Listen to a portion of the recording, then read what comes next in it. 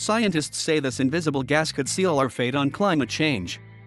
According to the UN Intergovernmental Panel on Climate Change, the concentration of methane in the atmosphere is higher now than any time in at least 800,000 years. With Earth rapidly approaching the 1.5 degrees Celsius threshold above pre industrial levels, scientists say methane emissions need to be reduced fast. Charles Koven, a lead author of the IPCC report, said this is due to methane's incredible warming power. If the world stopped emitting carbon dioxide tomorrow, Koven said, global temperatures wouldn't begin to cool for many years because of how long the gas stays in the atmosphere. Reducing methane is the easiest knob to turn to change the path of global temperature in the next 10 years, he said. Methane, the main component of the natural gas we use to fuel our stoves and heat our homes, can be produced in nature by belching volcanoes and decomposing plant matter. But it is also pumped into the atmosphere in much larger amounts by landfills, livestock, and the oil and gas industry. Natural gas has been hailed as a bridge fuel that would transition the US to renewable energy because it is more efficient than coal and emits less carbon dioxide when burned.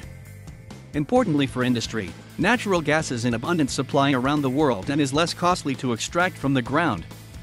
But proponents for this new cleaner gas missed a dangerous threat that it could leak, unburned, into the atmosphere and cause significant warming.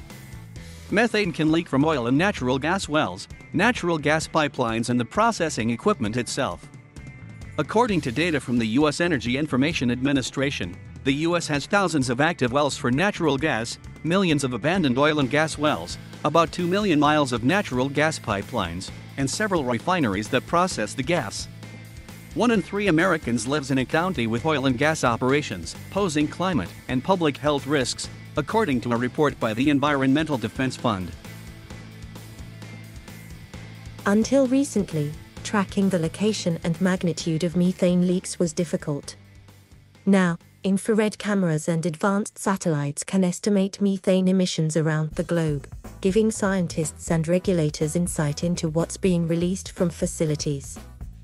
The latest IPCC assessment highlights that scientists now have a better understanding of how much methane is being released by human activity like agriculture and the fossil fuel industry, and how much it contributes to the climate crisis. Though agriculture is a major source of methane, Jackson said the emissions from farming and food production would be harder to tackle. There are only certain things we can do with cattle, Jackson said. We can either ask people to stop eating beef or we can try and give cattle feed additives to change the microbes in the chemistry of their guts. But that's not easy to do for billions of cattle around the world.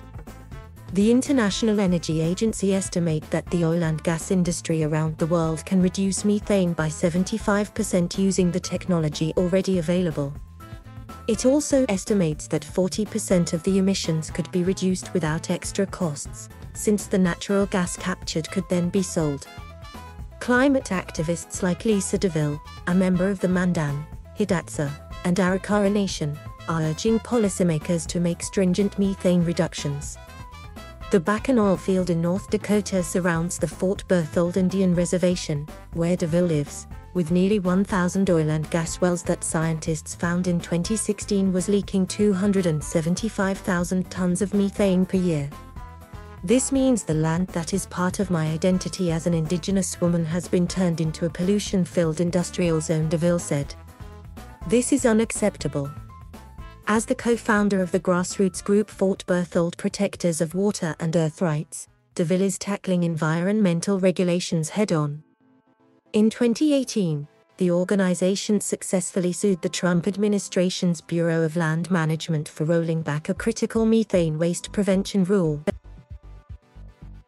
Global temperatures are now at 1.1 degrees Celsius above pre industrial levels, according to the report, and the planet is already seeing the impact in the form of extreme fire behavior, severe flooding, relentless drought, and deadly heat waves. The IPCC report makes clear that stopping methane emissions is key to slowing the planet from reaching 1.5 degrees. Scientists say world leaders need to act immediately in tackling all greenhouse gas emissions, and not just carbon dioxide. There's been incredible largely behind the scenes effort already to prepare to move faster and more comprehensively to cut methane domestically, at the same time that we're addressing this as a diplomatic imperative, Duke said. Already, pressure is mounting. In June, DeVille discussed tribal issues, particularly slashing methane emissions and transitioning to clean energy quickly and equitably, with Environmental Protection Agency Administrator Michael Regan. What we do in the next few years will determine what kind of world we have, what kind of world we leave for our children, said DeVille, who is now seeking to meet with Interior Secretary Deb Haaland to discuss similar issues. We must rapidly switch to clean energy, stop fossil fuel carbon pollution, and then methane leaks.